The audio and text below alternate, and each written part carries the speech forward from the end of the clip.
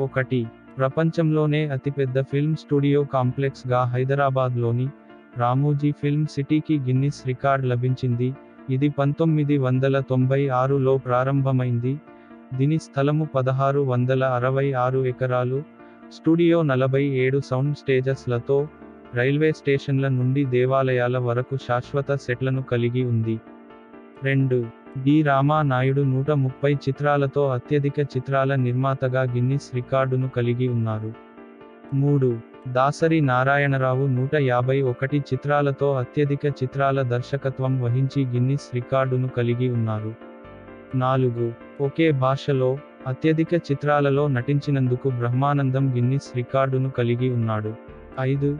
SP Balasubrahmanyam ప్రపంచంలోని అత్యధిక పాటలు పాడిన మగ ప్లేబ్యాక్ గాయకుడిగా గిన్నిస్ రికార్డును కలిగి ఉన్నాడు. అతని పాటల్లో ఎక్కువ భాగం తెలుగులో పాడారు. ఆరు. రెండు వేల రెండులో Guinness book of records Vijaya నిర్మలను అత్యధిక చిత్రాలు చేసిన మహిళా దర్శకురాలిగా పేర్కొంది.